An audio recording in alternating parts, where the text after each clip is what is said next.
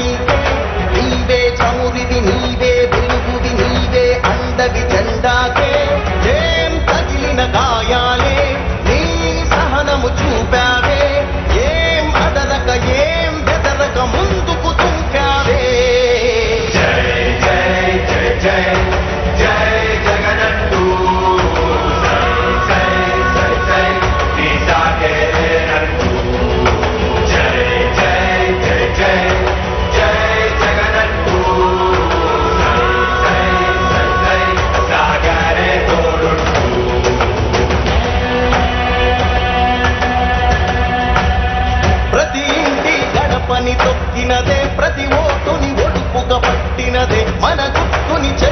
చెక్కినదే నువ్వేగా రాజన్న రాజ్యం తెచ్చినదే. జగనన్నని రాజును చేసినదే. నిరుపేదల రాతలు మార్చినదే. నువ్వేగా మరిగిన నెత్తురు నీ దశలే రగిలితే నిప్పుల ఉప్పెనలే. ఎదురుగా నిలబడు శత్రువులే. ఎవరంట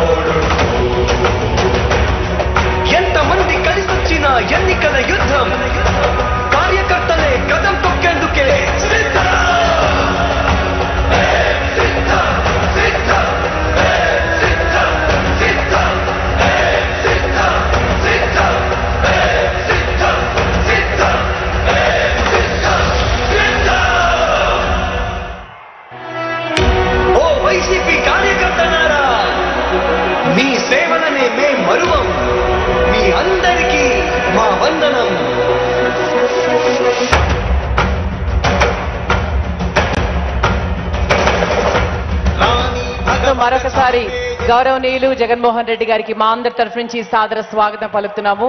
దయచేసి ఆసీనుడు కావాల్సిందిగా మనవి సార్. వేదికను అలంకరించిన పెద్దలకు అలాగే విచ్చేసిన కార్యకర్తల నుంచి అలాగే ఈ రోజు ఈ సభా కార్యక్రమానికి సిద్ధం కార్యక్రమానికి విచ్చేసిన లక్షలాది ప్రజానికం తరఫు నుంచి గౌరవనీయులు ఆంధ్ర రాష్ట్ర ముఖ్యమంత్రి జగన్మోహన్ రెడ్డి గారికి సాదర స్వాగతం పలుకుతున్నాం. దయచేసి అందరినీ కూర్చోవలసిందిగా రిక్వెస్ట్ చేస్తున్నామండి. దయచేసి please down please take your seat దయచేసి స్టేజ్ని అలంకరించిన వాళ్ళందరూ కూడా దయచేసి కూర్చోవాలి.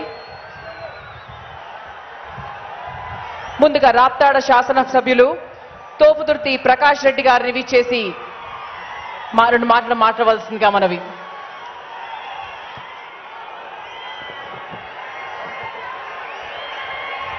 సిద్ధమా?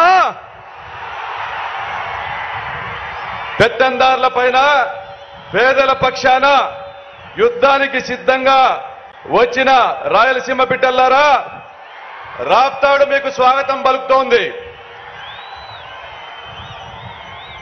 బ్రిటిష్ దొరలపై తిరుగుబాటు చేసిన తొలి భారతీయుడు మన సీమ బిడ్డ ఉయ్యారవాడ నరసింహారెడ్డి ఎట్లా ఉంటాడో తెలుసా? ఎట్లా ఉంటాడో? దాతృత్వంలో బుడ్డ వెంగళరెడ్డి రాజసంలో రాజశేఖర్ రెడ్డి పౌరుషంలో సైరా నరసింహారెడ్డి. సార్ ఈ ప్రాంతం ఇరవై ఒక్క సంవత్సరాల తెలుగుదేశం పాలనలో వందేళ్ళకు సరిపడా విషాదాన్ని చూసింది సార్. ఫ్యాక్షన్ హత్యల్ని చూసింది రైతు ఆత్మహత్యల్ని చూసింది కరువు కాటకాల్ని చూసింది వలసలతో నిర్మానుష్యమైన గ్రామాల్ని చూసింది సార్. అయితే వైఎస్ జగన్మోహన్ రెడ్డి అనే నేను అని మీరు ప్రమాణ స్వీకారం చేసిన క్షణం నుండి నేటి వరకు ఫ్యాక్షన్ హత్యలు లేవు రైతు ఆత్మహత్యలు లేవు కరువు కాటకాలు లేవు వలసలు అసలే లేవు సార్. ఈరోజు మీ నాయకత్వంలో రాయలసీమ ఒక పవర్ జంక్షన్ లా మారింది సార్. రాయలసీమ ఒక వాటర్ బ్యాంక్ లా మారిపోతా ఉంది. ఒక ఇండస్ట్రియల్ హబ్ లా మార్చిన మీకు ఏమిచ్చి రుణం తీర్చుకోవాలి సార్? మిత్రులారా ఒకటి గుర్తించండి. జగనన్న ప్రతి గడప ముంగటికి ప్రభుత్వాన్ని తెచ్చాడు. పచ్చరాజ్యంలో కాళ్ళు పట్టుకుంటే కానీ పథకాలు వచ్చేవి కాదు. ఈరోజు కాలు మీద కాలు వేసుకొని కూర్చున్న పథకాలు వస్తున్నాయి. ఎట్లాగో తెలుసా? పుష్ప సినిమా చూసారా ఈ కాలు నాదే ఈ కాలు నాదే. ఆ విధంగా జగనన్న మనకు అండగా ఉన్నాడు కాబట్టి ఈరోజు రాయలసీమ అభివృద్ధికి కేరా పట్టస్గా మారింది. సార్ ఒక కడపలోనే కాదు సార్ గడప గడప కొలిచే దైవం రాజశేఖర రెడ్డి గారు. చిత్తూరు జిల్లా నుంచి వచ్చిన మిత్రులారా మీకోసం వస్తూ రాజన్న మరణించినాడన్న విషయం గుర్తుంచుకోండి. కర్నూలు జిల్లాలో ఆయన తుది శ్వాస వదిలారు. కడప జిల్లాలో ఆయన శాశ్వత నివాసం ఎంచుకున్నారు. అనంతపురం జిల్లా ఆయన జ్ఞాపకాలతో జీవిస్తోంది ఈరోజు రాజన్న జ్ఞాపకాలతో.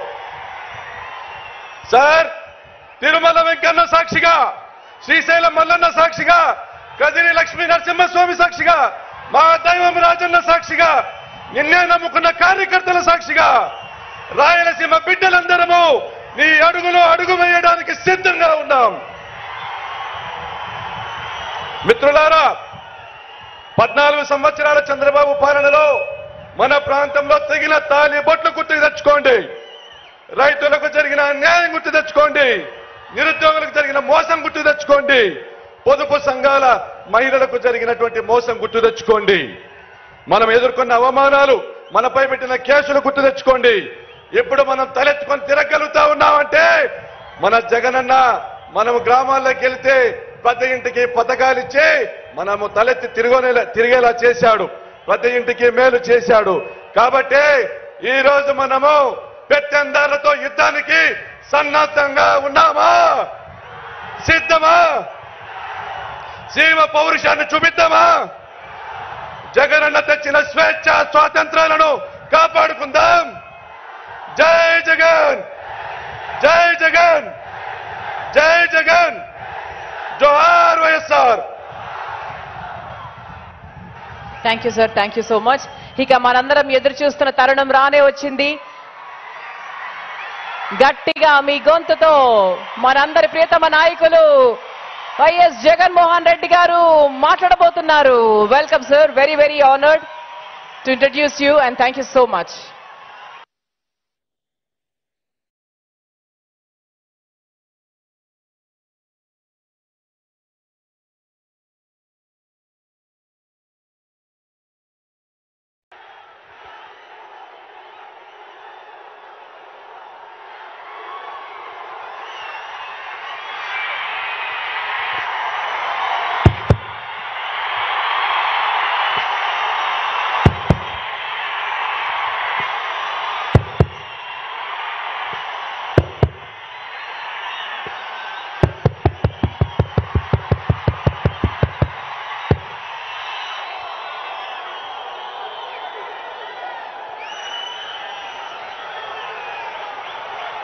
ఈరోజు రాయలసీమలో సముద్రం కనిపిస్తా ఉంది ఈ రోజు రాయలసీమలో.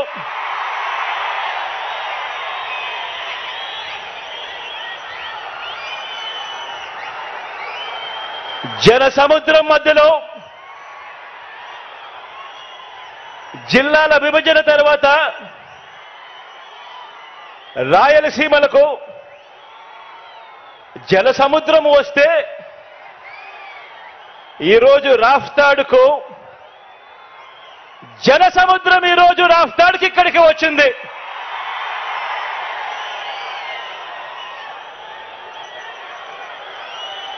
ఈ జన సముద్రానికి రాయలసీమ గడ్డకు ఇక్కడున్న ప్రతి రాయలసీమ బిడ్డకు మీ జగన్ నిండు మనసుతో గుండెల నిండా ప్రేమతో అభివాదం చేస్తా ఉన్నాడు మీ జగన్.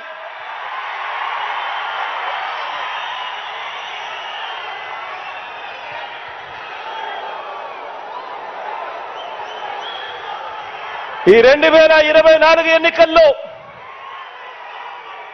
జరగబోతున్న ఈ యుద్ధం రెండు సిద్ధాంతాల మధ్య జరగబోతా ఉన్న యుద్ధం. ఇవి కేవలం ఎమ్మెల్యేలను ఎంపీలను కేవలం ఎన్నుకునే ఎన్నికలు మాత్రమే కావివి. ఇవి ఇప్పటి వరకు ఈ ఐదేళ్ళ కాలంలో ఇంటింటికి కూడా మనందరి ప్రభుత్వం అందించిన సంక్షేమము అభివృద్ధి ఈ పథకాలన్నీ కూడా కొనసాగాలని అడుగులు వేసే మనకు ఈ పథకాలన్నీ రద్దు చేయటమే టార్గెట్గా పెట్టుకొని డ్రామాలాడుతా ఉన్న చంద్రబాబుకు మధ్య జరిగే ఈ యుద్ధంలో మధ్య జరిగే ఈ యుద్ధంలో మీరు సిద్ధమేనా?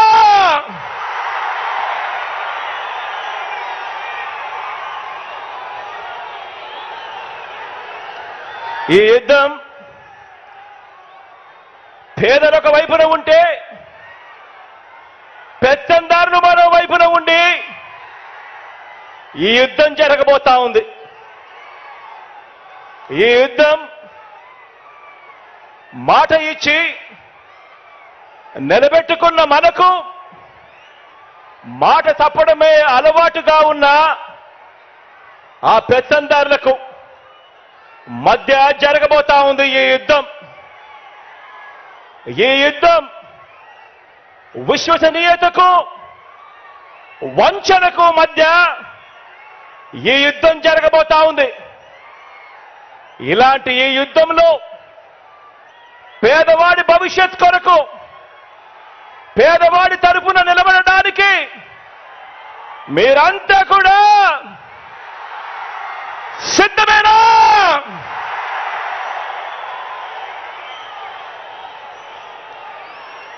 ఈ యుద్ధం వేరే రాష్ట్రంలో ఉంటూ మోసం చేసేందుకు అప్పుడప్పుడు మన రాష్ట్రానికి వచ్చిపోతూ ఉన్న నాన్ రెసిడెంట్స్ ఆంధ్రాస్ అప్పుడప్పుడు మనల్ని మోసం చేయడానికి మాత్రమే వస్తూ ఉంటారు. ఎవ్వరు మన రాష్ట్రంలో కూడా ఉండరు. అటువంటి నాన్ రెసిడెంట్స్ ఆంధ్రాస్కు ఈ గడ్డ మీదే పుట్టి ఈ గడ్డ మీదే మమకారంతో ఇక్కడే ఇల్లు కట్టుకొని ఇక్కడే ప్రజల మధ్య ఉన్న మనకు మధ్య జరగబోతా ఉంది ఈ యుద్ధం. ఈ వేదిక మీద నుంచి ఇదే వేదిక మీద నుంచి చంద్రబాబు నాయుడు గారికి ఒక సవాల్ విసురుతా ఉన్నా. ఇదే వేదిక మీద నుంచి సవాల్ విసురుతా ఉన్నా. పద్నాలుగు సంవత్సరాలు ముఖ్యమంత్రిగా పరిపాలన చేశారు. మూడు సార్లు ముఖ్యమంత్రి కుర్చీలో కూర్చున్నారు మరి పద్నాలుగు సంవత్సరాలు ముఖ్యమంత్రిగా పరిపాలన చేసిన మీరు మూడు సార్లు ముఖ్యమంత్రి అయిన మీరు మరి మీ పేరు చెబితే మరి మీ పేరు చెబితే రైతులకు గుర్తుకొచ్చే ఒక్కటైనా ఒక్కటైనా పథకం ఉందా అని అడుగుతా ఉన్నాను. ఇదే పెద్ద మనిషి చంద్రబాబు నాయుడు గారిని. రెండు చేతులు పైకెత్తి ఇలా ఇలా ఇలా ఇలా ఇలా ఇలా ఇలా ఇలా ఇలా ఇలా ఇలా ఇలా ఇలా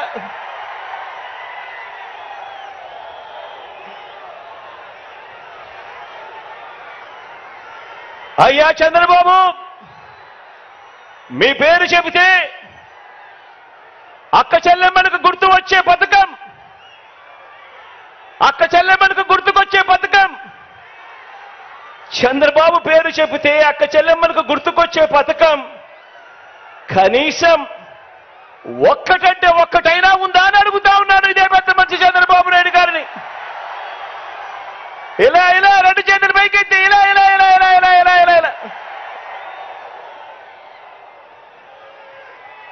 చంద్రబాబు చంద్రబాబు పేరు చెబితే బడికి వెళ్ళే పిల్లలకైనా కాలేజీకి వెళ్ళే పిల్లలకైనా కనీసం వారికైనా గుర్తుకొచ్చే పథకం కనీసం ఒక్కటంటే ఒక్కటైనా ఉందా అని అడుగుతా ఉన్నాను. రెండు చేతుల పైకి ఇలా ఇలా ఇలా ఇలా ఇలా ఇలా ఇలా ఇలా ఇలా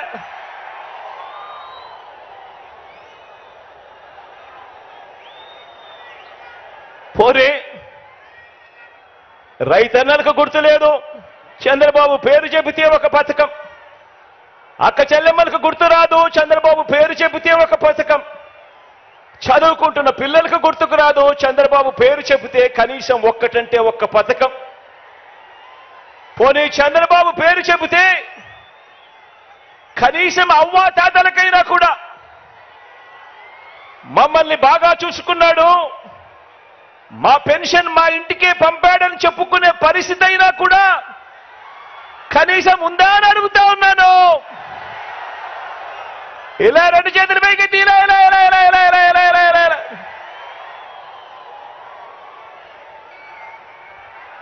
చంద్రబాబు పేరు చెబితే ఏ ఒక్కరికి కూడా ఆయన ముఖ్యమంత్రిగా ఉండగా పలాని మంచి చేశాడు అని ఫలాని మంచి పథకం తీసుకొచ్చాడు అని కనీసం చెప్పుకునేందుకు ఒక్కటంటే ఒక్క పథకం కూడా కనీసం చంద్రబాబు నాయుడు గారి పేరు చెబితే గుర్తుకు రాదు. చంద్రబాబు పేరు చెబితే కనీసం ప్రజల ఆరోగ్యం కోసం మీరు చేసిన ఒక్క మంచి పనైనా ఉందా? ప్రజల ఆరోగ్యం కోసం కనీసం మీరు చేసిన ఒక్క మంచి పనైనా ఉందా? ప్రజల ఆరోగ్యం కోసం కనీసం తెచ్చిన ఒక్క స్కీమ్ అయినా ఉందా అని అడుగుతా ఉన్నాను. బాబు పేరు చెబితే రాష్ట్రంలో ఏ ఒక్క గ్రామంలో అయినా ఆ గ్రామం మధ్య నిలబడి ఆ గ్రామానికి వెళ్ళి ఆ గ్రామం మధ్యలో నిలబడి మీరు ఏర్పాటు చేసిన పరిపాలనా వ్యవస్థ చంద్రబాబు గారు ఏర్పాటు చేసిన పరిపాలనా వ్యవస్థ కనీసం ఒక్కటైనా అంటే ఒక్కటంటే ఒక్కటైనా కనిపిస్తుందా అని అడుగుతా ఉన్నా. ఆ గ్రామంలో కనీసం బాగుపడిన స్కూళ్ళైనా ఉన్నాయా అని అడుగుతా ఉన్నాను. ఆ గ్రామంలో కనీసం బాగుపడిన హాస్పిటళ్ళైనా అయినా ఉన్నాయా అని అడుగుతా ఉన్నాను. పద్నాలుగేళ్ళు పద్నాలుగు సంవత్సరాలు ముఖ్యమంత్రిగా పరిపాలన చేశాడు. మూడు సార్లు ముఖ్యమంత్రి అయ్యాడు. అయినా కూడా కుప్పం నుంచి ఇచ్చాపురం వరకు కుప్పం నుంచి ఇచ్చాపురం వరకు ఏ గ్రామంలో అయినా సరే ఎవరైనా కూడా ఆ గ్రామంలో ఆగినా ఆ గ్రామంలో అయ్యా చంద్రబాబు మీ మార్క్ ఎక్కడైనా ఉందా అని అడుగుతా ఉన్నాను. ఇదే పెద్ద మనిషిని చంద్రబాబు నాయుడు గారిని ఈ వేదిక నుంచి బాబు పేరు చెబితే బాబు పేరు చెబితే సామాజిక న్యాయం అనే పదం. చంద్రబాబు పేరు చెబితే సామాజిక న్యాయం అనే పదం. కనీసం ఏ ఒక్కరికైనా కూడా గుర్తుకు వస్తుందా అని అడుగుతా ఉన్నాను ఈ పెద్ద మంచి చంద్రబాబు పేరు చెబితే. ప్రతి సామాజిక వర్గాన్ని కూడా ఎన్నికలప్పుడు మేనిఫెస్టోలో రంగురంగులుగా రాయడం ఆ తర్వాత సామాజిక వర్గాలన్నింటినీ మోసం చేయడం. ఇదే ఆనవాయితీగా పెట్టుకున్నాడు ఈ పెద్ద మనిషి చంద్రబాబు నాయుడు గారు. పంతొమ్మిది వందల తొంభై ఐదు అప్పుడు చూసిన పంతొమ్మిది వందల తొంభై తొమ్మిది పోనీ అప్పుడు చూసినా లేక రెండు వేల పద్నాలుగు పోనీ అప్పుడు చూసినా కూడా సీఎం అయిన ఇదే పెద్ద మనిషి చంద్రబాబు గారు. ఈ మూడు సందర్భాలలో కూడా తెలుగుదేశం పార్టీ తరఫున తెలుగుదేశం మేనిఫెస్టో అంటూ ఇచ్చి మీరిచ్చిన ఆ మేనిఫెస్టోలో ఏనాడైనా కూడా కనీసం పది శాతమైన అమలు చేశారా అని అడుగుతా ఉన్నాను. ఇదే వేదికపై నుంచి ఇదే పెద్ద మనిషి చంద్రబాబు నాయుడు గారిని. గతం ప్రజలకు గుర్తుండదు అన్న నమ్మకంతో ఇప్పుడు మరోసారి అలాంటి అబద్ధాలు అలాంటి మోసాలు మరో మేనిఫెస్టో పట్టుకొని బంగారు కడియం ఇస్తానని ఊబులోకి దింపి మనుషులను తినేసే కథ ఆ పులి మాదిరిగా ఈరోజు ఎర చూపిస్తా ఉన్నాడు ఈ పెద్ద మనిషి చంద్రబాబు నాయుడు గారు. రంగురంగుల మేనిఫెస్టో అంటున్నాడు. ఆరు స్కీములు అంటాడు. ఇంకా ఆరు రావాల్సినవి ఉన్నాయి అని అంటాడు. రంగురంగుల మేనిఫెస్టోతో మళ్ళీ మోసం చేసేందుకు బయలుదేరాడు ఈ పెద్ద మనిషి. నిజంగా చంద్రబాబు నాయుడు గారి మనస్తత్వం ఎలాంటిది అనంటే చేసేది ఎలాగో మోసమే కాబట్టి అబద్ధాలు చెప్పేటప్పుడు భావ దారిద్ర్యం ఎందుకు అన్నది బాబు నైజం. ఎలాగూ చేసేది లేదు ఎలాగూ చెప్పేది అబద్ధాలు ఎలాగూ చేసేది మోసమే కాబట్టి ఇక ఎలాగో మోసమే చేస్తా ఉన్నప్పుడు ఇక నోటికి కట్టడి ఎందుకు అబద్ధాలు చెప్పేటప్పుడు బావ దారిద్ర్యం ఎందుకు అన్నది బాబు నైజం. నమ్మినవాడు నమ్మినవాడు మునుగుతాడు నమ్మించిన వాడు దోచుకోగలుగుతాడు అన్నది బాబు సిద్ధాంతం.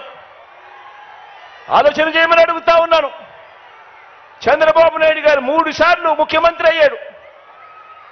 మూడు సార్లు తాను మేనిఫెస్టోను ప్రవేశపెట్టాడు.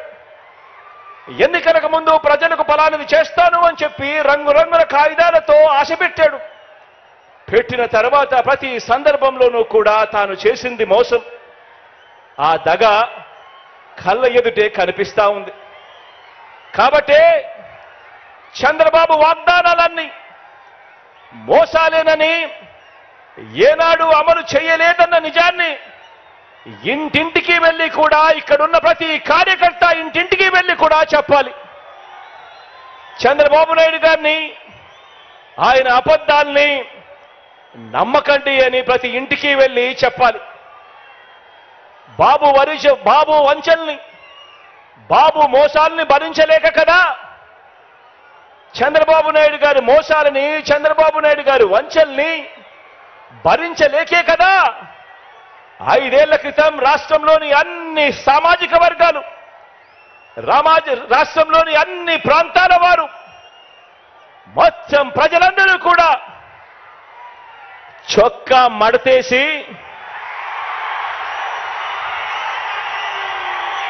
చొక్కా మడతేసి బాబుకున్న కుర్చీలను కూడా మడిచి చీపుళ్ళతో ఊడ్చి వారి పార్టీని శాసనసభలో నూట రెండు నుంచి ఇరవై మూడుకు తగ్గించారు కదా అని అడుగుతా ఉన్నాను. అదే పని మరోసారి చేయడానికి అదే పని మరోసారి చేయడానికి చొక్కాలు మడత వేయడానికి సిద్ధంగా ఉన్నారా?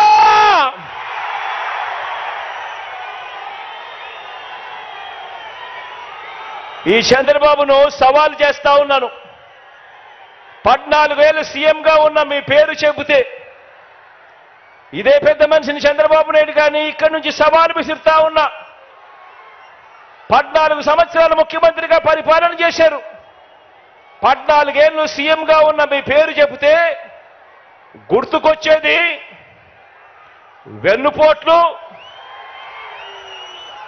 మోసాలు తప్ప మీ పేరు చెబితే కనీసం ఒక్కటంటే ఒక్క మంచి స్కీమ్ అయినా గుర్తుకొస్తుందా అని అడుగుతా ఉన్నాను. కనీసం మీరు చేసిన ఒక్కటంటే ఒక్క మంచి అయినా గుర్తుకొస్తుందా అని అడుగుతా ఉన్నాను. రెండు చేతులు పైకెత్తి ఇలా ఇలా ఇలా ఇలా ఇలా ఇలా ఇలా ఇలా ఇలా ఇలా మరి ఈ పెద్ద మనిషి చంద్రబాబు నాయుడు గారు చేయలేని ఈ పెద్ద మనిషి చంద్రబాబు నాయుడు గారు చేయలేని పనులన్నీ దేవుడు దయతో మనం కేవలం ఈ యాభై ఏడు నెలల పాలనలోనే ఎంత చిత్తశుద్ధితో ఎంతటి మమకారంతో చేశామో ఇవాళ నాలుగు మాటలతో వివరిస్తా వివరిస్తాను. ఆ పథకాలన్నీ ఇక మీదట పథకాలన్నీ ఇక మీదట కొనసాగాలంటే ప్రతి పేద కుటుంబానికి ప్రతి రైతన్నకు ప్రతి అక్క చెల్లెమ్మకు ప్రతి విద్యార్థికి ప్రతి అవ్వాతాతకు ప్రతి సామాజిక వర్గానికి ఎంతటి అవసరమో మన పాలన ప్రజలందరికీ వివరించే బాధ్యతను మనమంతా కూడా తీసుకోవాలి. ఇంతకు ముందే నేను చెప్పాను ఈ యాభై ఏడు నెలల్లో కని విని ఎరగని విధంగా విప్లవాత్మిక మార్పులు తీసుకొచ్చాం. ప్రతి అక్క మా హృదయాన్ని తట్టాం. ప్రతి రైతన్న మనసులో నిలిచాం. ప్రతి అవ్వ తాత చిక్కటి చిరునవ్వుల్లో నిలిచాం.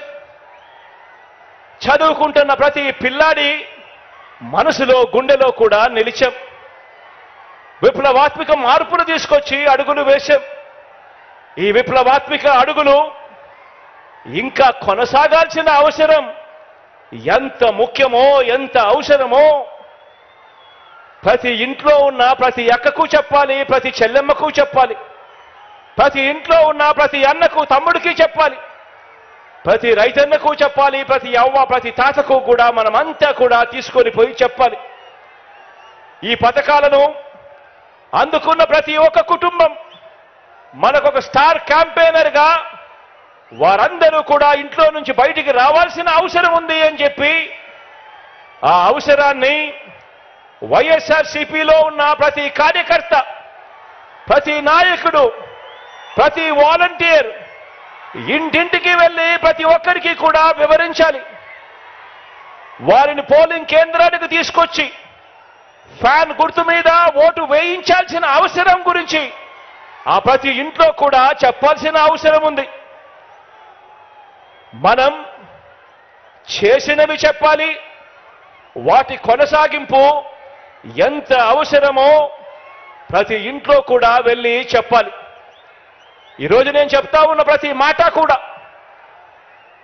జాగ్రత్తగా ఆలోచన చేసి వినమని చెప్పి కోరుతా ఉన్నాను మీ అందరితో కూడా. మనకు మన వైఎస్ఆర్సీపీకి ప్రజలు రెండు వేల పంతొమ్మిదిలో ఒక్కసారి అధికారం ఇస్తేనే మొదటిసారి ఛాన్స్ ఇస్తేనే రైతులకు అదనంగా ఇంతకు ముందు ఎప్పుడూ కూడా రైతన్న చూడని విధంగా ఒక రైతన్నకు రైతు భరోసా తీసుకొచ్చి ఇచ్చాం. గ్రామాలలో రైతన్నకు చేయి పట్టుకుని నడిపించే ఆర్బీకే వ్యవస్థను గ్రామ స్థాయిలోకి తీసుకొని వచ్చి రైతన్నకు తోడుగా నిలిచాం. పగటిపూటే రైతన్నకు తొమ్మిది గంటల పాటు ఉచిత విద్యుత్. ఆ రైతన్నకు తన గ్రామంలోనే అందుబాటులోకి తీసుకొచ్చాం. మొట్టమొదటిసారిగా ఏ సీజన్లో నష్టం జరిగితే ఆ సీజన్ ముగిసేలోగానే రైతన్నకు ఇన్పుట్ ఇన్పుట్ సబ్సిడీ ఇవ్వటం మొదలెట్టింది. మీ బిడ్డ ప్రభుత్వం వచ్చిన తర్వాతనే. రైతన్నలకు మొట్టమొదటిసారిగా ఎప్పుడూ జరగని విధంగా ఉచిత పంటల బీమా ఇస్తా ఉన్నది కూడా మీ బిడ్డ ముఖ్యమంత్రి అయిన తర్వాతనే గతంలో ఎప్పుడూ కూడా ఏ రైతన్నా కూడా చూడని విప్లవాత్మిక మార్పులు ఇవి.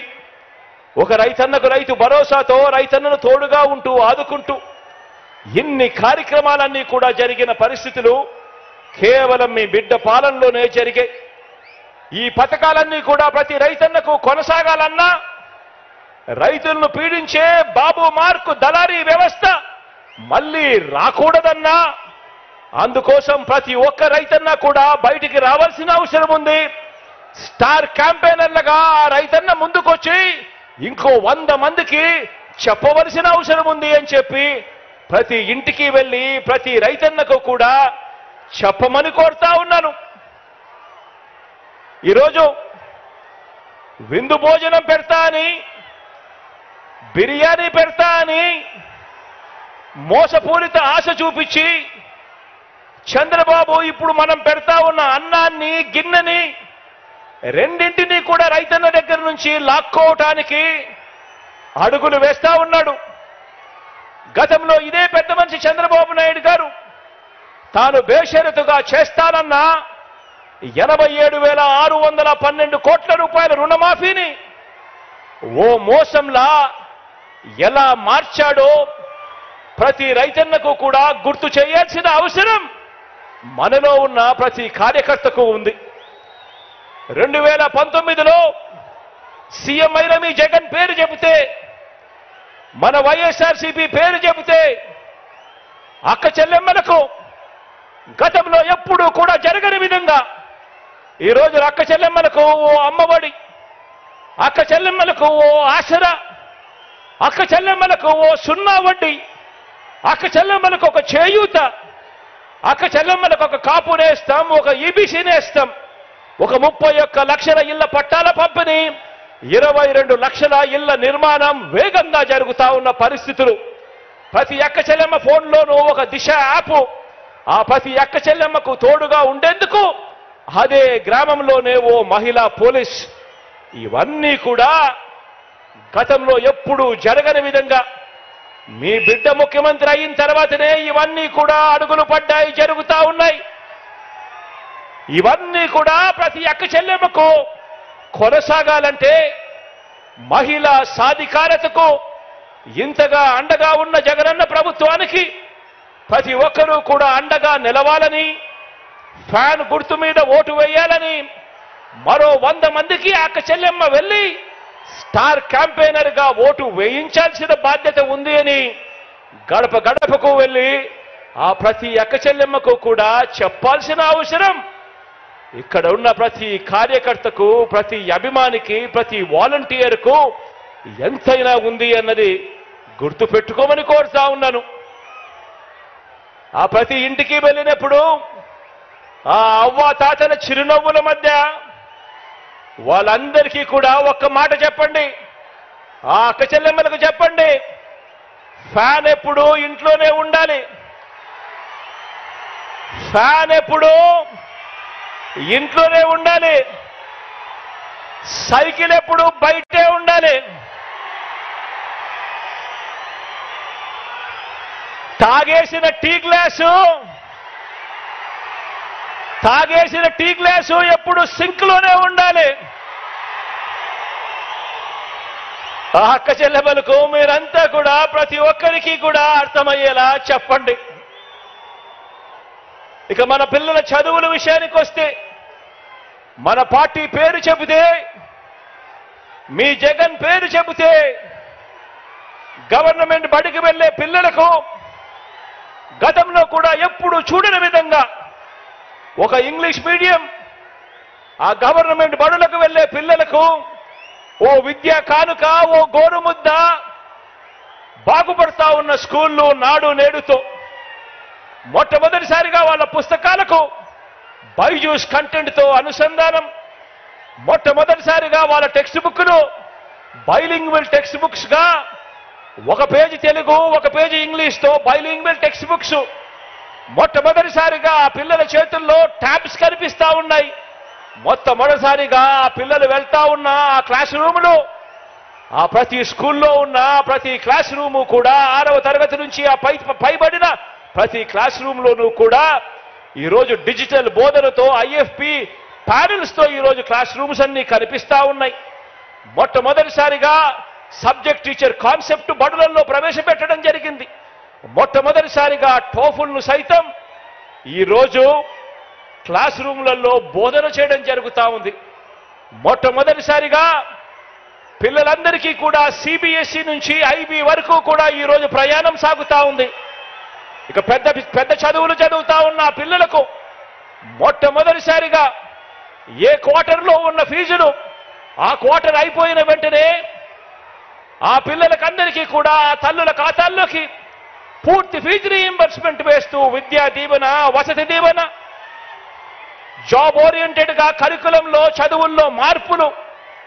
ఆన్లైన్ వర్టికల్స్ చదువులతో అనుసంధానం. ఇవన్నీ కూడా ఆ పిల్లలకు ఆ తల్లిదండ్రులకు వాళ్ళ ఇంటికి వెళ్ళినప్పుడు వాళ్ళని అడగండి. మన బడులు కానీ మన పిల్లల చదువులు కానీ ఇంతకు ముందుకు ఇప్పటికీ తేడా ఎంతగా ఉందో గమనించమని చెప్పి ప్రతి ఒక్కరిని కూడా అడగండి. ఆ తల్లిదండ్రులకు ఆ పిల్లలకు మీరు వెళ్ళినే చెప్పినప్పుడు అడగండి. ఇవన్నీ కూడా కొనసాగాలనంటే ఇవన్నీ కూడా కొనసాగాలేనంటే ఆ పిల్లలు అనర్గలంగా ఇంగ్లీష్లో మాట్లాడే పరిస్థితి రావాలి అనంటే పెత్తందారులతో ఆ పిల్లలు పోటీ పడే పరిస్థితి జరగాలి అనంటే మళ్ళీ అది చేయగలిగింది. కేవలం మీ అన్న ముఖ్యమంత్రి అయితేనే జరుగుతుంది అని చెప్పి ప్రతి ఇంటికి వెళ్ళి చెప్పండి.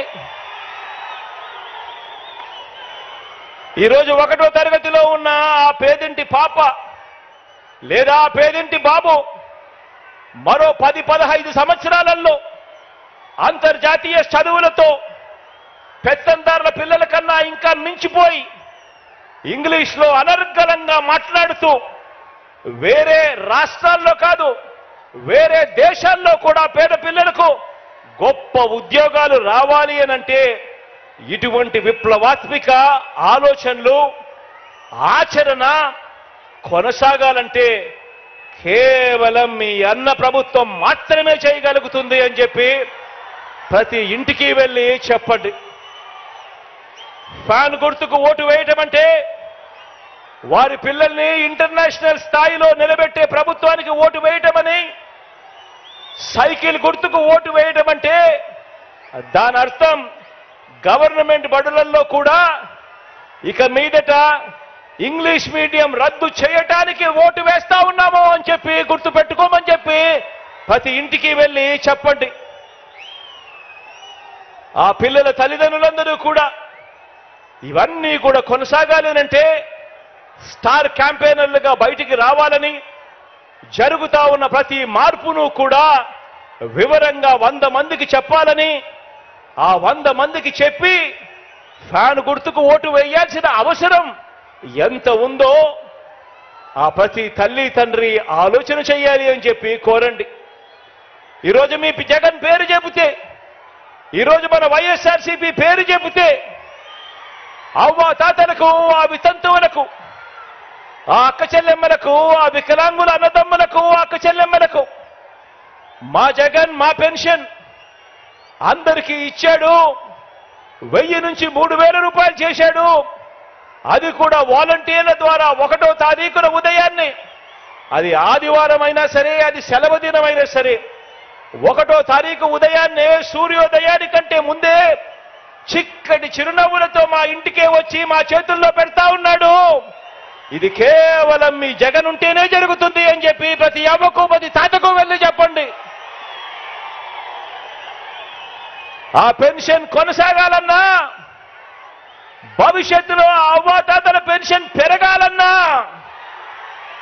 ఆ అవ్వాతాతలు వికలాంగులు వితంతు ఒక్క చెల్లెమ్మలు కొందరికే పెన్షన్ ఇచ్చే రోజులు మళ్ళీ రాకూడదన్నా లంచాల జన్మభూమి కమిటీలు మళ్ళీ కాటేయకూడదన్నా. మీ ఇంటికి ఆ పెన్షన్ రావాలన్నా.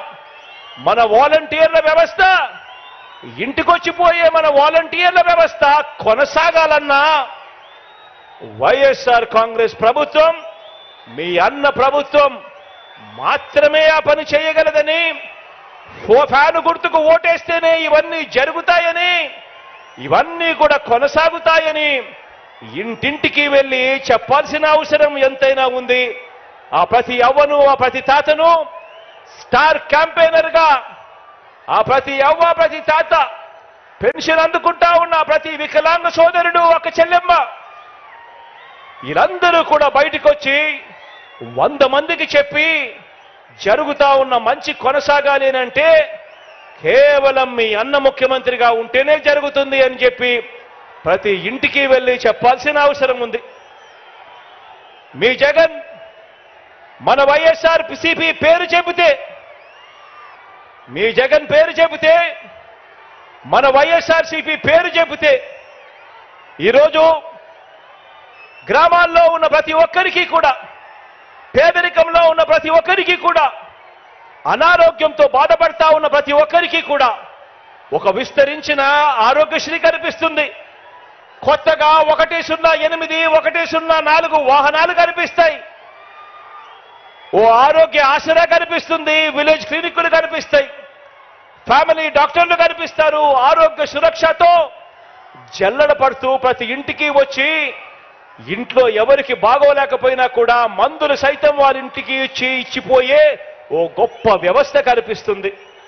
అంతటి కోవిడ్లో కూడా కష్టకాలంలో కూడా అందించిన మందులు సేవలు ప్రతి ఒక్కరికి కూడా ప్రతి ఇంట్లో కూడా గుర్తుకు వస్తాయి. పేదలు వైద్యం కోసం అప్పుల పాలయ్యే పరిస్థితి రాకూడదన్నా గడప గడపకు వైద్యం అందించే పరిస్థితి ప్రభుత్వం చెయ్యాలి అనన్నా ఈ పథకాలన్నీ కూడా కొనసాగాలన్నా కూడా ఇంతకు మించిన మంచి ఆ కుటుంబాలకు జరగాలన్నా మనందరి ప్రభుత్వానికి ప్రభుత్వానికే ఆ పేదలు అండగా దండగా నిలబడాలని వారే స్టార్ క్యాంపెయినర్లుగా బయటకు రావాలని అప్పులు పాలయ్యే పరిస్థితి వైద్యం కోసం ఏ ఒక్కరికి రాకూడదంటే అది కేవలం మీ జగన్ ముఖ్యమంత్రి అయితేనే జరుగుతుంది అని చెప్పి ప్రతి ఇంటికి వెళ్ళి చెప్పాలి అని కోరండి. రెండు వేల పంతొమ్మిదిలో మనం అధికారంలోకి వచ్చిన తర్వాతే రాష్ట్రంలోని ఏ గ్రామమైనా కూడా ఆ గ్రామానికి వెళ్ళి అక్కడ నిల్చుంటే ఆ గ్రామంలో ఓ విలేజ్ సెక్రటేరియట్ కనిపిస్తుంది. అందులో దాదాపు పది మంది శాశ్వత ఉద్యోగాలు చేస్తా ఉన్న మన పిల్లలు కనిపిస్తారు. అదే గ్రామంలోనే నాలుగు అడుగులు ముందుకు వేస్తే ఒక రైతు భరోసా కేంద్రం కనిపిస్తుంది. మరో నాలుగు అడుగులు ముందుకు వేస్తే ఓ విలేజ్ క్లినిక్ కనిపిస్తుంది. మరో నాలుగు అడుగులు ముందుకు వేస్తే కడతా ఉన్న డిజిటల్ లైబ్రరీలు కనిపిస్తాయి. నాడు నేడుతో రూపం మారిన బడులు కనిపిస్తాయి హాస్పిటల్స్ కనిపిస్తాయి. వీటి అన్నింటితో పాటు ప్రతి యాభై ఇళ్ళకు అరవై ఇళ్ళకు ఆ ఇంట్లో ఉన్న ప్రతి పేదకు కూడా ప్రతి అక్కచెల్లెమ్మకు కూడా ప్రతి అవ్వ తాతకు కూడా ప్రతి రైతన్నకు కూడా చెయ్యి పట్టుకుని నడిపించే ఓ మంచి వాలంటీర్ వ్యవస్థ ఒక్క రూపాయి కూడా లంచం అడగకుండా ఎవ్వరితోనూ వివక్ష చూపించకుండా మంచి చేస్తా ఉన్న ఒక వ్యవస్థ కనిపిస్తుంది. ఇవన్నీ కూడా ఇవన్నీ కూడా జరిగాయి ఎప్పుడు అనంటే ఇవన్నీ కూడా ఎప్పటి నుంచి మొదలయ్యాయి అంటే అది ఈ యాభై ఏడు నెలల్లో మీ బిడ్డ ముఖ్యమంత్రి అయిన తర్వాతనే జరిగాయి అని చెప్పి ప్రతి ఇంటికి వెళ్ళి చెప్పాల్సిన అవసరం ఉంది. ఆ ఇంట్లో అదే గ్రామంలోనే అదే వార్డులోనే. అదే గ్రామంలోనే అదే వార్డులోనే. ఆ ప్రతి ఇంటికి వెళ్ళి అడిగి చెప్పండి. అక్క ఐదు సంవత్సరాల కిందట మీ అన్న మా అన్న ముఖ్యమంత్రి కాకమునుపు ఎప్పుడైనా మీరు ఊహించారా అక్క? గవర్నమెంట్ ఇచ్చే డబ్బు రూపాయి లంచం లేకుండా వివక్ష లేకుండా మీ చేతికి వస్తుంది అని చెప్పి ఎప్పుడైనా మీరు కలలుగన్నారా అని చెప్పి అడగండి. మరి ఈరోజు జరుగుతూ ఉండేది. ఒక్క రూపాయి లంచం లేకుండా వివక్ష లేకుండా ఈరోజు నేరుగా నా అక్క చెల్లెమ్మల కుటుంబాలకి మీ బిడ్డ మీ అన్న మీ తమ్ముడు అక్షరాల నూట ఇరవై ఐదు సార్లు బటన్ నొక్కాడు. నూట ఇరవై ఐదు సార్లు బటన్ నొక్కి ఏకంగా నా అక్క చెల్లెమ్మల కుటుంబాల ఖాతాల్లోకి రెండు లక్షల యాభై ఐదు వేల కోట్ల రూపాయలు ఈ రోజు పంపించిన మాట వాస్తవం కాదా అక్క అని చెప్పి ప్రతి అక్కను ప్రతి చెల్లెమ్మను అడగండి. కుప్పం నుంచి ఇచ్చాపురం వరకు ఏ గ్రామానికి వెళ్ళినా ఆ గ్రామంలో ఆగినా ఏ సామాజిక వర్గాన్ని చూసినా ఏ పేద ఇంటికి వెళ్ళినా ఎక్కడా కూడా పద్నాలుగు సంవత్సరాలు ముఖ్యమంత్రిగా చేసిన చంద్రబాబు నాయుడు గారి మార్క్ అభివృద్ధి ఎక్కడ కనిపించదు? ప్రతి ఇంట్లోనూ ప్రతి గ్రామంలోనూ కనిపించేది రెండు వేల పంతొమ్మిదిలో సీఎం అయిన మీ జగన్ వైఎస్ఆర్సీపీ మార్కు అభివృద్ధి ప్రతి ఇంట్లోనూ కనిపిస్తుంది ప్రతి గ్రామంలోనూ కనిపిస్తా ఉంది. ప్రజలు ప్రజలు మనకు ఫస్ట్ టైం ప్రజలు మనకు ఫస్ట్ టైం ఆశీర్వదిస్తేనే దేవుడు దయతో ఇంత మంచి చేయగలిగాం.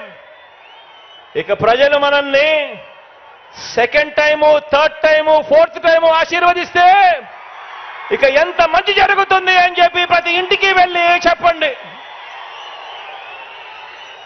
అంతేకాకుండా ప్రతి అడుగులోనూ కూడా ముఖ్యమంత్రిగా నేనుంటూ ముఖ్యమంత్రిగా నేనుంటూ అనగాలిన వర్గాల మీద వారి మీద నేను చూపిస్తా ఉన్న ప్రేమ. ప్రతి మాటకు ముందు నా నా నా నా అంటూ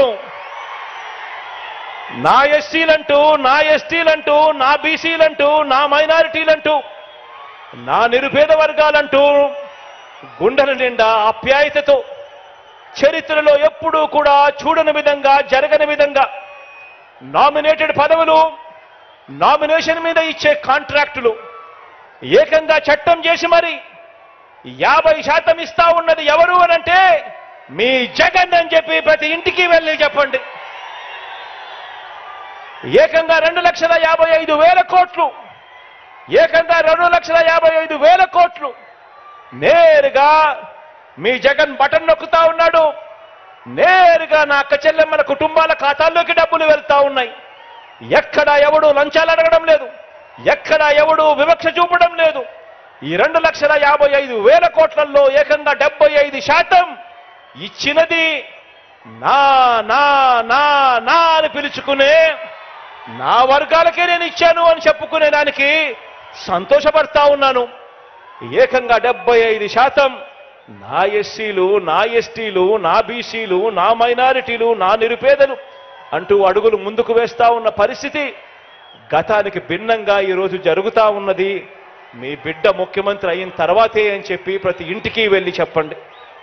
నిరుద్యోగులకు నిరుద్యోగులకు ఈ యాభై ఏడు నెలల్లో మన రాష్ట్రం ఏర్పడినప్పటి నుంచి ఇప్పటి వరకు ఏకంగా మన రాష్ట్రం ఏర్పడినప్పటి నుంచి స్వతంత్రం వచ్చినప్పటి నుంచి ఇప్పటి వరకు మన రాష్ట్రంలో ఉన్న ఉద్యోగాలు నాలుగు లక్షల ఉద్యోగాలు అవుతే ఈ ఐదు సంవత్సరాల మీ బిడ్డ పరిపాలనలోనే ఈ యాభై ఏడు నెలలు మీ బిడ్డ పరిపాలనలోనే ఏకంగా రెండు లక్షల పదమూడు వేల ఉద్యోగాలు ఇచ్చాడు అని చెప్పి ప్రతి ఇంటికి వెళ్ళి చెప్పండి.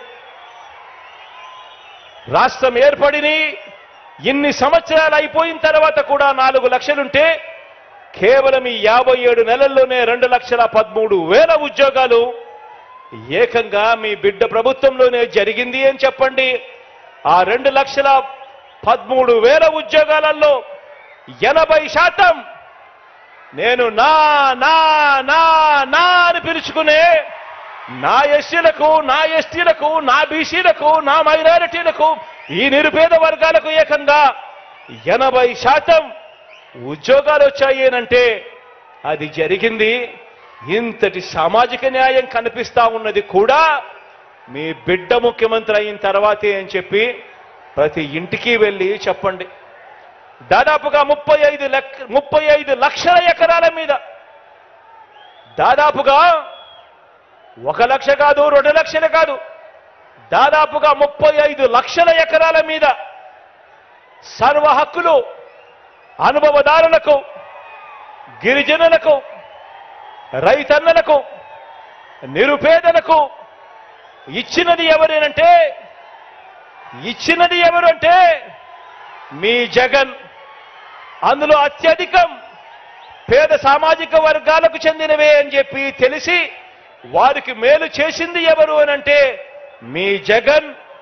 ఇచ్చింది ఎవరు అనంటే మన వైఎస్ఆర్సిపి పార్టీ ఇచ్చింది అని చెప్పి చెప్పడానికి గర్వపడతా ఉన్నా. ఎస్సీ ఎస్టీ బీసీ మైనారిటీలకు ఎన్నికైన పదవుల నుంచి మంత్రి మండలి వరకు డిప్యూటీ సీఎంలు రాజ్యసభ శాసనసభాపతి వరకు మండలి చైర్మన్లు వైస్ చైర్మన్ పదవులు చరిత్రలో ఎప్పుడు ఇవ్వని విధంగా ఇచ్చింది కూడా ఎవరు అనంటే మీ మీ జగన్ వచ్చింది ఎప్పుడు అనంటే మన వైఎస్ఆర్సీపీ ప్రభుత్వం వచ్చిన తర్వాతే అని చెప్పి ప్రతి ఇంటికి వెళ్ళి చెప్పండి. ఈ వర్గాలన్నీ కూడా మనందరి ప్రభుత్వం నిండు మనసుతో మద్దతు పలకాలని తరతరాలుగా మారని బతుకులు మారాలని మనందరి ప్రభుత్వం చేస్తున్న ప్రయత్నాలకు అండగా ఈ వర్గాలన్నీ కదలి రావాలని స్టార్ క్యాంపెయినర్లుగా నిలవాలని బాబుకు ఓటు వేయటం అంటే సామాజిక న్యాయానికి వ్యతిరేకంగా ఓటు వేయటమని బటన్ నొక్కితే నేరుగా నా అక్క చెల్లెమ్మల కుటుంబాల ఖాతాల్లోకి డబ్బులు పోయే డీబీటీకి వ్యతిరేకంగా ఓటు వేయటమే అని ఈ వర్గాలన్నీ కూడా స్టార్ క్యాంపెయినర్లుగా ముందుకు రావాలని ప్రతి ఒక్కరికి కూడా ప్రతి ఇంటికి వెళ్ళి చెప్పాల్సిన అవసరం ఉంది అని చెప్పి ప్రతి ఒక్కరిని కోరుతా ఉన్నా. ఆలోచన చేయమని అడుగుతా ఉన్నా. గతంలో చంద్రబాబు నాయుడు గారి పాలన చూశారు. ఇంకా చాలా మంది పాలనలు చూశారు. చాలా రాష్ట్రాల్లో కూడా పాలనలు చూస్తూ ఉన్నారు. ఎవరైనా కూడా మేనిఫెస్టోను మన మాదిరిగా మీ అన్న మాదిరిగా మీ తమ్ముడి మాదిరిగా మన వైఎస్ఆర్ కాంగ్రెస్ పార్టీ మాదిరిగా ఎవరైనా మేనిఫెస్టోను ఒక బైబిల్ గాను ఒక ఖురాన్ గాను ఒక భగవద్గీత గాను భావించి ఆ మేనిఫెస్టోను ప్రతిరోజు చూసుకుంటూ ఏకంగా తొంభై తొమ్మిది శాతం వాగ్దానాలన్నీ కూడా అమలు చేసిన తర్వాతే ఎన్నికలకు వెళ్తా ఉన్నది ఎవరు అనంటే మీ జగన్. ఒక్క వైఎస్ఆర్ కాంగ్రెస్ పార్టీ మాత్రమే ఆ చిత్తశుద్ధి చూపుతా ఉంది అని చెప్పడానికి గర్వపడతా ఉన్నా.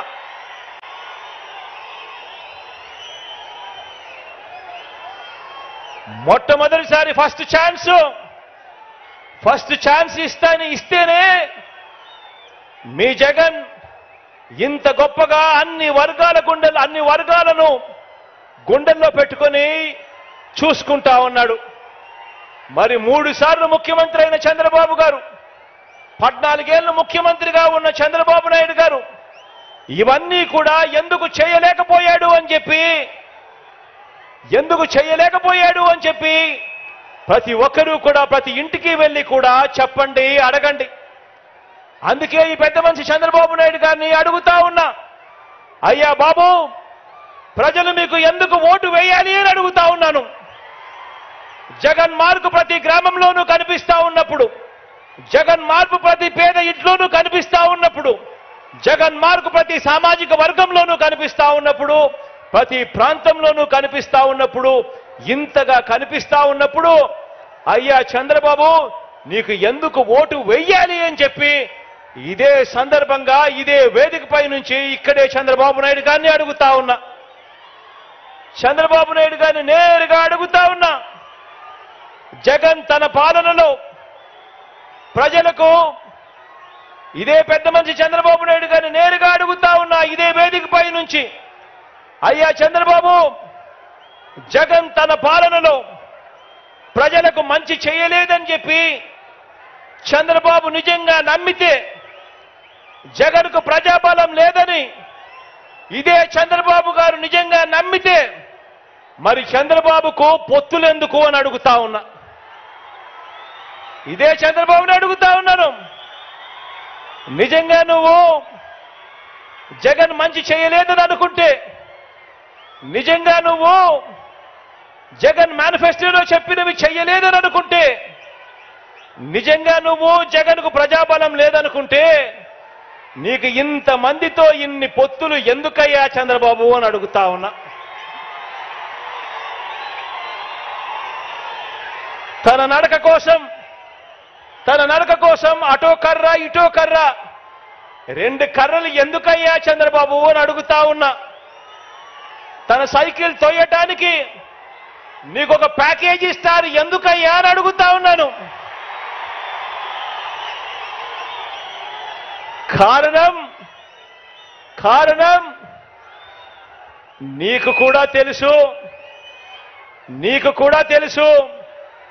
జగన్ ప్రతి ఇంటికి మంచి చేశాడు కాబట్టి వైఎస్ఆర్సీపీ చేసిన మంచి ప్రతి ఇంట్లోనూ కూడా బ్రతికే ఉంది కాబట్టి అని చెప్పి నీకు తెలుసు. ప్రతి గ్రామానికి మంచి జరిగింది ప్రతి సామాజిక వర్గానికి మంచి జరిగింది కాబట్టి ప్రతి పేదవాడు కూడా తన గుండెల్లో జగన్ను పెట్టుకున్నాడని వైఎస్ఆర్ కాంగ్రెస్ పార్టీని ప్రతి పేదవాడు కూడా తన గుండెల్లో పెట్టుకున్నాడు కాబట్టి ఈరోజు చంద్రబాబు నాయుడు గారి గుండెల్లో రైళ్ళు పరిగెత్తా ఉన్నాయని కూడా ఈ సందర్భంగా తెలియజేస్తా ఉన్నాను.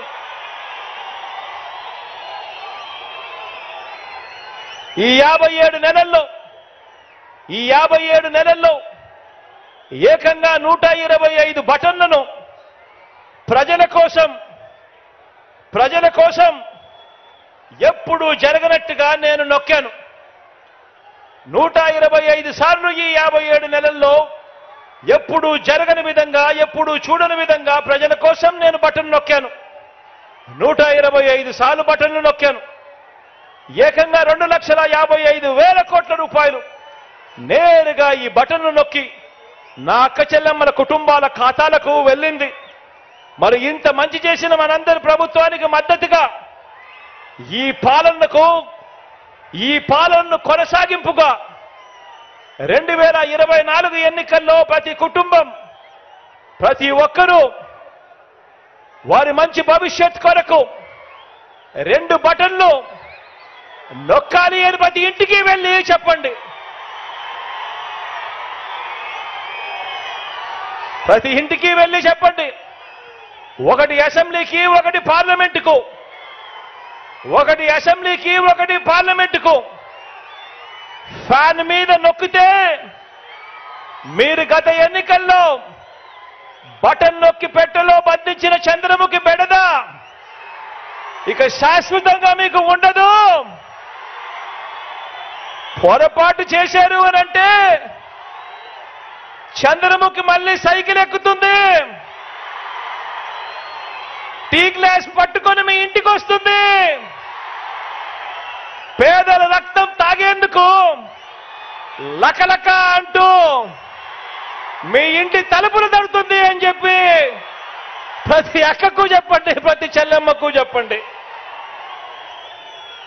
మీకు మంచి జరిగితేనే మీకు మంచి జరిగితేనే నాకు ఓటు వేయండి అని ఆ మంచి జరిగి ఉంటే మీ బిడ్డకు తోడుగా మీరే సైనికుల్లా నిలబడండి అని ప్రతి ఇంటికి వెళ్ళి నిబద్ధతతో చెప్పి ఎన్నికలకు సిద్ధమని చెప్పి మనమంటూ ఉంటే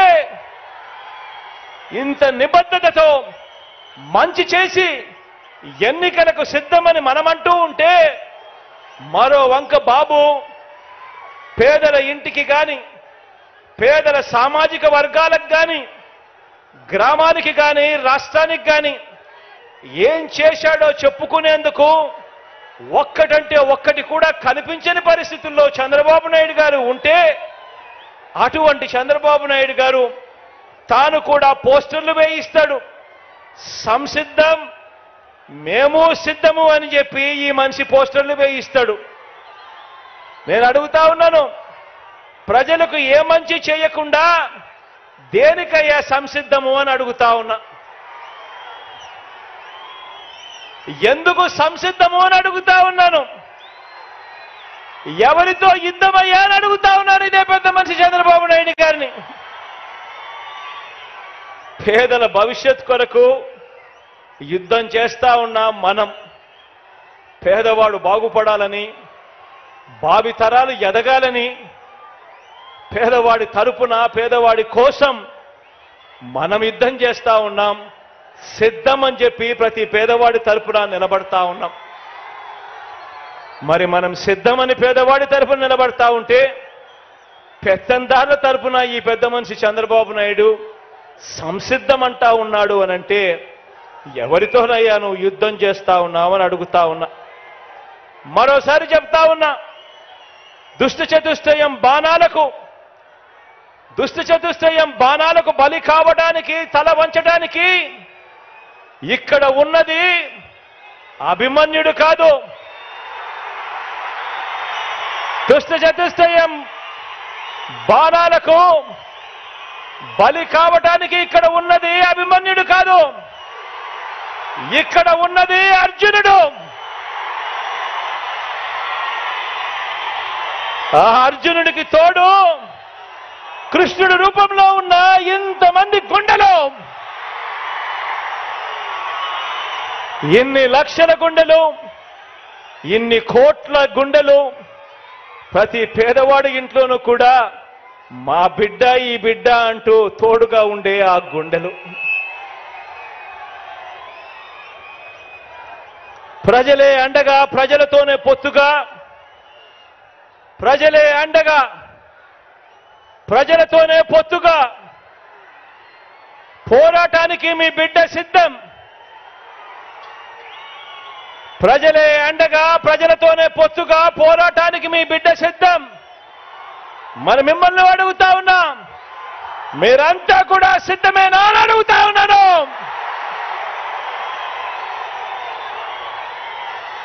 మన పార్టీని మీ అన్నను అభిమానించే ప్రతి ఒక్క కార్యకర్తకు ప్రతి ఒక్క నాయకుడికి ప్రతి ఒక్క అభిమానికి ప్రతి ఒక్క వాలంటీర్కి ఒక్క విషయం చెబుతా ఉన్నా.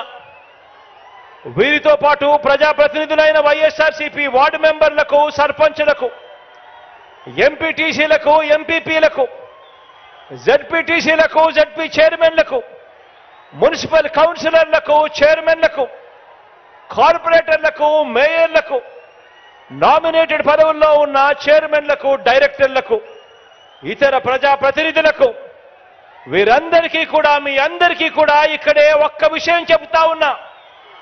ఇది ఇది మీ అందరి పార్టీ అని చెప్పి ఈ సందర్భంగా మరొక్కసారి చెప్తా ఉన్నా. కార్యకర్తల్ని నాయకుల్ని అభిమానించే విషయంలో వారికి పదవులు అధికారం ఇచ్చే విషయంలో రాష్ట్ర చరిత్రలో ఏ పార్టీ చేయని విధంగా కార్పొరేషన్ను ఏర్పాటు చేసి కార్పొరేషన్ చైర్మన్లను డైరెక్టర్లను నియమించిన ప్రభుత్వం మనది అని చెప్పి సందర్భంగా తెలియజేస్తా ఉన్నా.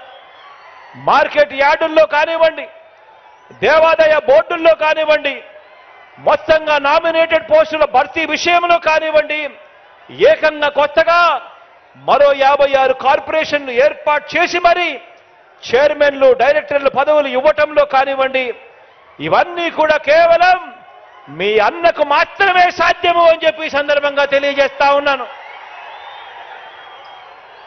గత తెలుగుదేశం పార్టీ తమ కార్యకర్తలతో లంచాలు పిండుతూ పక్షపాతంతో కొద్ది మందికి మాత్రమే అన్న వివక్షతో జన్మభూమి కమిటీల ద్వారా సంక్షేమ పథకాల లబ్ధిదారులను ఎంపిక చేస్తే ఆ స్థానంలో మనం మన ప్రభుత్వాన్ని అభిమానించే మనలో మనలో నుంచి మనలో నుంచి ఒక్కరైనా చదువుకున్న మన పిల్లలతో తీసుకువచ్చిన మన వాలంటీర్ వ్యవస్థ ఇంటింటికి వెళ్ళి పనిచేస్తున్న మనందరి ప్రభుత్వానికి ప్రతినిధిగా మనందరి ప్రభుత్వానికి దన్నుగా మనతో పాటు స్టార్ క్యాంపెయినర్లుగా ప్రజల మన్నళ్ళు పొందుతూ ఉంది మనతో పాటు పనిచేస్తా ఉంది.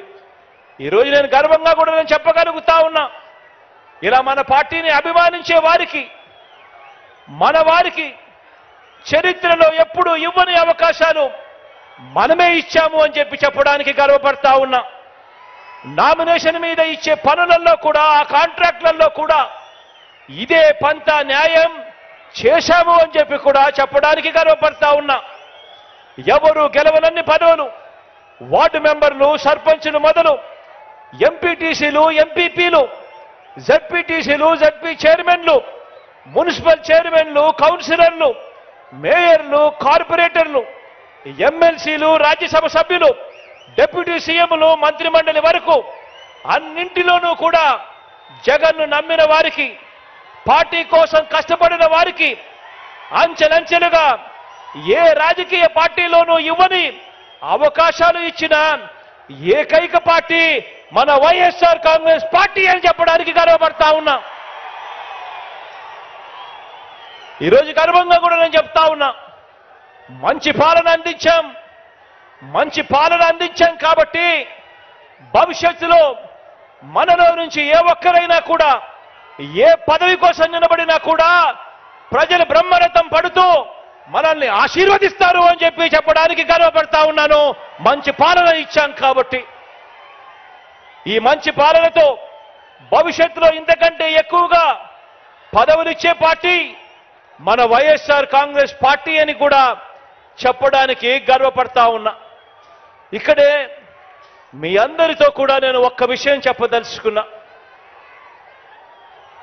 పార్టీలోని ప్రతి కార్యకర్తకు ఈ విషయం చెప్పదలుచుకున్నా ప్రతి కార్యకర్తకు మీ అన్న మీ జగన్ ఎల్లప్పుడూ తోడుగా ఉంటాడు అని చెప్పి సందర్భంగా తెలియజేస్తా ఉన్నాను మరొక్కసారి. ప్రతి కార్యకర్తకు తోడుగా నిలబడతాం. ప్రజాసేవలో ఉన్న ప్రతి ఒక్కరికి కూడా మరో రెండు మెట్లు ఎక్కి అవకాశం కల్పించే బాధ్యత నాది అని చెప్పి కూడా ఈ సందర్భంగా చెప్పడానికి గర్వపడతా ఉన్నాను అని చెప్పి ఈ సందర్భంగా తెలియజేస్తా ఉన్నా.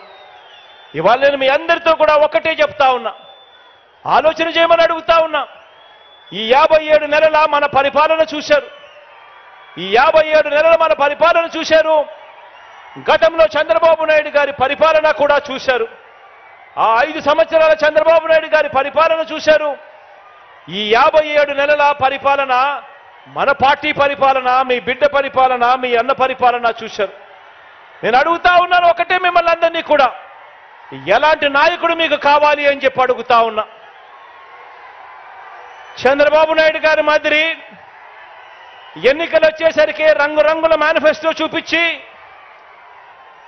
ఎన్నికలు వచ్చేసరికి రైతన్నలను ఎలా మోసం చేయాలి అక్క చెల్లెమ్మలను ఎలా మోసం చేయాలి అవ్వ తాతలను ఎలా మోసం చేయాలి చదువుకుంటున్న పిల్లల్ని ఎలా మోసం చేయాలి అని చెప్పి దిక్కుమాలిన ఆలోచనలు చేసి రంగురంగుల మేనిఫెస్టోలలో వాళ్ళందరినీ కూడా మోసం చేసే విధంగా వాళ్ళందరినీ కూడా మోసం చేసే విధంగా అడుగులు వేస్తూ ఆ మేనిఫెస్టో రూపొందించి ఆ తర్వాత అధికారంలోకి వచ్చిన తర్వాత ఆ మేనిఫెస్టోని తీసి చెత్తబుట్టలో వేసి ఆ అక్క చెల్లెమ్మలను పట్టించుకోకుండా ఆ రైతన్నలను పట్టించుకోకుండా ఆ అవ్వ తాతలను పట్టించుకోకుండా ఆ చదువుకుంటున్న పిల్లలను పట్టించుకోకుండా అందరినీ కూడా మోసం చేస్తా ఉన్నా అలాంటి చంద్రబాబు నాయుడు గారి మాదిరిగా ఉండాలనా అని అడుగుతా ఉన్నాను నేను మిమ్మల్ని అందరినీ కూడా.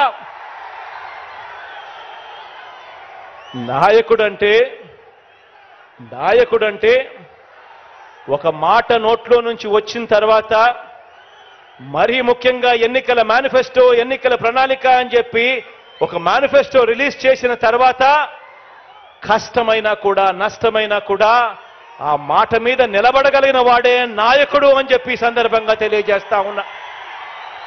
ఈరోజు అలా చేయగలిగాం కాబట్టి ఏకంగా తొంభై తొమ్మిది శాతం హామీలను ఆ మేనిఫెస్టోలో చెప్పిన హామీలను నెరవేర్చాం కాబట్టి ఈరోజు ప్రతి ఇంటికి కూడా మేనిఫెస్టో తీసుకొని ప్రతి కార్యకర్త ప్రతి అభిమాని ప్రతి ఇంటికి పోగలుగుతా ఉన్నాడు. వెళ్ళి ఆ ప్రతి ఇంటికి ఆ మేనిఫెస్టో ఇచ్చి అక్క మీరే టిక్కు పెట్టండి. ఇది మా పార్టీ ఇచ్చిన మేనిఫెస్టో. ఎన్నెన్ని జరిగాయో మీరే టిక్కులు పెట్టండి. ఏకంగా తొంభై తొమ్మిది శాతం నెరవేర్చాడు మా అన్న అని చెప్పి ఈ రోజు ప్రతి కార్యకర్త ప్రతి అభిమాని కూడా ప్రతి పేదవాడి ఇంటికి వెళ్ళగలుగుతా ఉన్నాడు. ఇది నాయకుడు అంటే నాయకుడు అంటే ఎలా ఉండాలి అంటే ప్రతి కార్యకర్త కూడా కాలర్ ఎగిరేసి అదుగో మా నాయకుడు మాటిచ్చాడు అని అంటే చేస్తాడంతే అని చెప్పి చెప్పే పరిస్థితి ఉండాలి. నాయకుడు అంటే ఎలా ఉండాలి అని అంటే ప్రతి కార్యకర్తకు కూడా ఇలాంటి వ్యక్తి ఉండాలి. రాష్ట్రానికి ప్రజలకు మాకు అండగా తోడుగా అని చెప్పి అనిపించే విధంగా ఒక నాయకుడు అనేవాడు ఉండాలి. ఈరోజు నేను గర్వంగా కూడా చెప్తా ఉన్నాను. ఈరోజు ప్రతి గ్రామానికి మనం మంచి చేశాం. ప్రతి ఇంటికి మంచి చేశాం. ప్రతి పేదరికి ప్రతి పేద కుటుంబానికి మంచి చేశాం. ప్రతి పేదకు వారి భవిష్యత్తుకు ఈరోజు అండగా నిలబడగలిగాం. ఈరోజు గర్వంగా కూడా చెప్తా ఉన్నా మాట ఇచ్చాం మాట నెరవేర్చాం. మళ్ళీ ప్రజల దగ్గరికి మాట నెరవేర్చామని చెప్పి ప్రజల దగ్గరికి వెళ్ళే పరిస్థితి ఈరోజు మనకు మన వైఎస్ఆర్ కాంగ్రెస్ పార్టీకి ఉంది. అందుకే అడుగుతా ఉన్నా అందుకే చెప్తా ఉన్నాను. వచ్చే ఎన్నికల్లో మన టార్గెట్ వచ్చే ఎన్నికల్లో మన టార్గెట్ నూట డెబ్బై ఐదుకు నూట డెబ్బై ఐదు అని అడుగుతా ఉన్నాను. వచ్చే ఎన్నికల్లో మన టార్గెట్ ఇరవై ఐదు ఎంపీలకు ఇరవై ఐదు ఎంపీలు అని అడుగుతా ఉన్నాను. పరిపాలనలో మనం ఎక్కడా తగ్గలేదు. మనకు ఒక్క ఎమ్మెల్యే గాని ఒక్క ఎంపీ గాని తగ్గేందుకు వీలే లేదు అని అడుగుతా ఉన్నాను.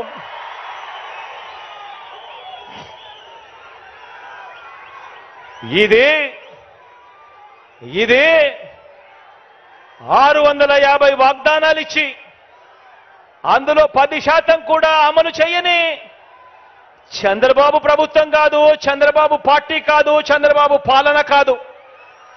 ఇది ఏకంగా తొంభై తొమ్మిది శాతం వాగ్దానాలు అమలు చేసి మరి అమలు చేసి మరి ప్రతి ఇంటికి వెళ్ళి మేనిఫెస్టో చూపించి ఆ అక్క చెల్లెమ్మల ఆశీస్సులు కోరుతా ఉన్న మన వైఎస్ఆర్సిపి పార్టీ. అటు టీడీపీ ఇటు వైఎస్ఆర్సిపి అటు పెత్తందారులు ఇటు పేదవాడు. అడుగుతా ఉన్న పేదవాడి భవిష్యత్ కొరకు. యుద్ధానికి మీరంతా కూడా సిద్ధమేనా అని అడుగుతా ఉన్నాను.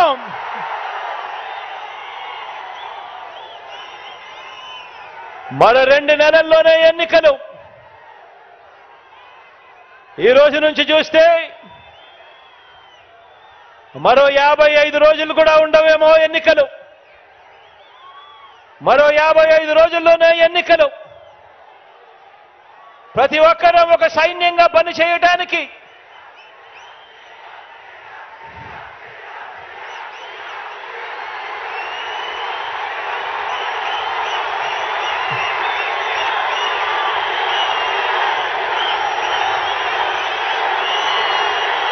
మరో రెండు నెలల్లో మరో యాభై ఐదు రోజుల్లో జరగబోయే కురుక్షేత్రానికి ఒక సైన్యంగా పనిచేయడానికి చంద్రబాబు ప్రచారాలు ఈనాడు రాతలు ABN TV five yellow media తప్పుడు కథలు వారి అబద్ధాలు మోసాలు వీటి అన్నింటి నుంచి ఇంటింటి అభివృద్ధి ఇంటింటి అభివృద్ధిని పేదవాడి భవిష్యత్తును కాపాడేందుకు మీరంతా కూడా సిద్ధమేనా అని అడుగుతా ఉన్నాను. వారి మీడియా వారి సోషల్ మీడియా వారి మీడియా వారి సోషల్ మీడియా లో వారు చేసే దుష్ప్రచారాన్ని తిప్పికొట్టాలి.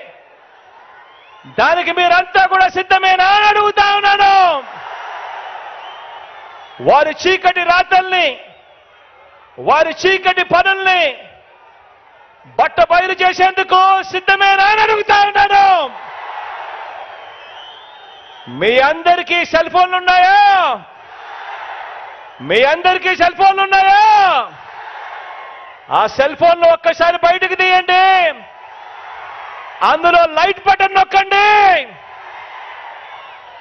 ఆ లైట్ బయటకు తీసి సెల్ ఫోన్ ప్రతి ఒక్కరూ పట్టుకొని ఆ సెల్ ఫోన్ టార్చ్ ఆన్ చేసి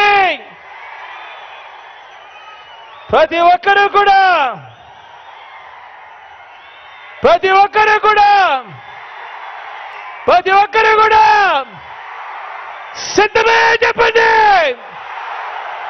సిద్ధమే చెప్పండి.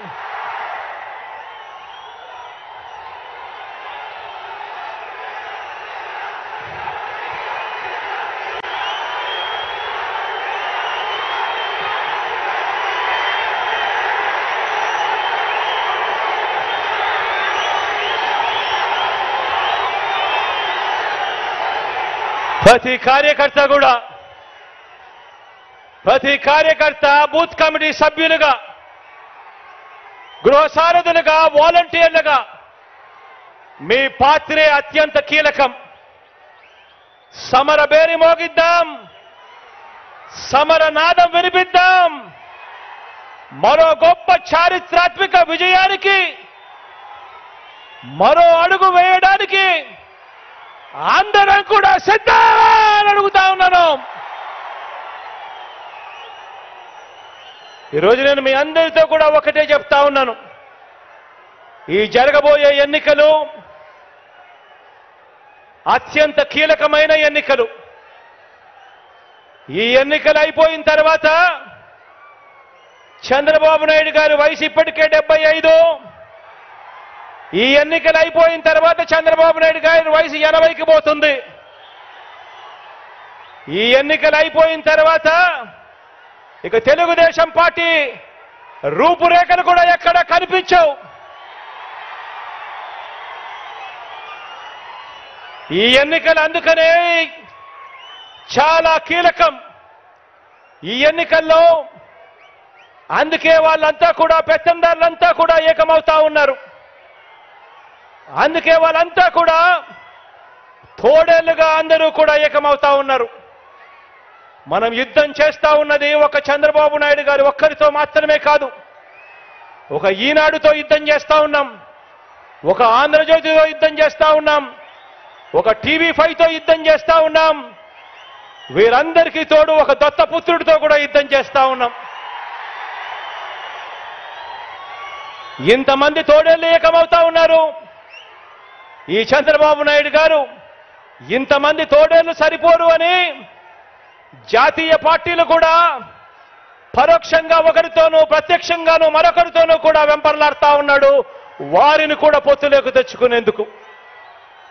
ఇంతమందితో చంద్రబాబు నాయుడు గారు కేవలం ఒకే ఒక్కడి మీద యుద్ధం చేయడానికి ఇంతమంది తోడేళ్ళందరూ కూడా ఏకమవుతా ఉన్నారు. ఆలోచన చేయమని అడుగుతా ఉన్నాను.